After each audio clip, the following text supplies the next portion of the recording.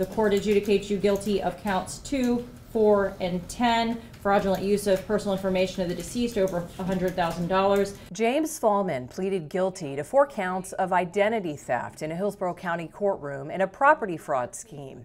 He was charged with falsifying the deeds of four people to gain control of their homes. This typically happens when there's a death and property is left to another individual. It also happens with property that's vacant.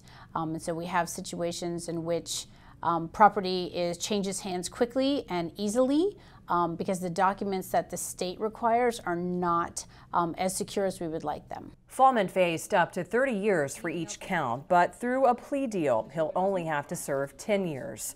Property fraud is one of the fastest growing white collar crimes in Florida.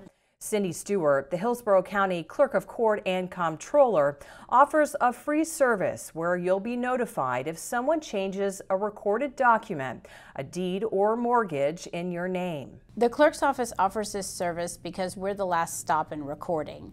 Um, so when uh, when someone comes to um, the counter to record a deed or change a mortgage or do any kind of transaction around a piece of property, we're the last stop for that filing. So it's easy for us to recognize some of the red flags that might be happening, um, and it's easier for us to notify you if those if those things are, should not be changing on your property. To sign up, just go to our website on your screen or use the QR code.